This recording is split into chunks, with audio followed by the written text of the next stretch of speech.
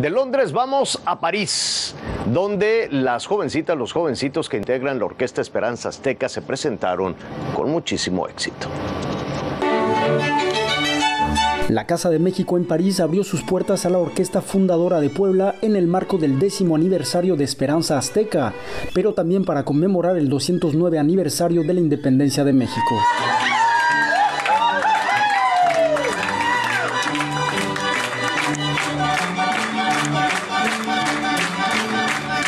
Los 26 jóvenes que han tenido la oportunidad de viajar a París, Francia, cautivaron durante 45 minutos al público francés.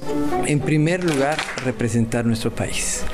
Es eh, un momento excepcional e histórico para todos nosotros, en donde vamos a compartir la, nuestra cultura, nuestra música, nuestro entusiasmo, nuestra alegría y sobre todo eh, dar a conocer este proyecto que tanto bien ha hecho a todos. Los jóvenes realizarán tres conciertos a lo largo de esta semana en la capital francesa. Que lo disfruten mucho porque tenemos pues, mucha música mexicana representando a México y, y pues que lo disfruten. La orquesta fundadora de Puebla cuenta con talentos desde muy temprana edad, como es el pequeño Julio César, quien a sus 11 años de edad ya dio su primer concierto en París.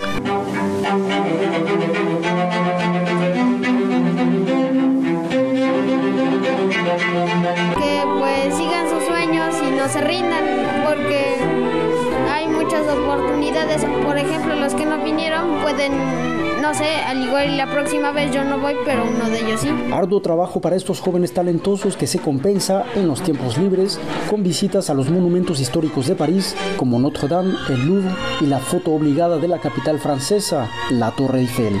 Hermoso. ¿Qué te parece París? Muy bonita, es arquitectura muy, pasados, pero se sigue manteniendo igual, como que se sigue manteniendo como en esa época. El próximo concierto de la Orquesta Fundadora de Puebla será ante la Organización para la Cooperación y el Desarrollo Económico, la OCDE.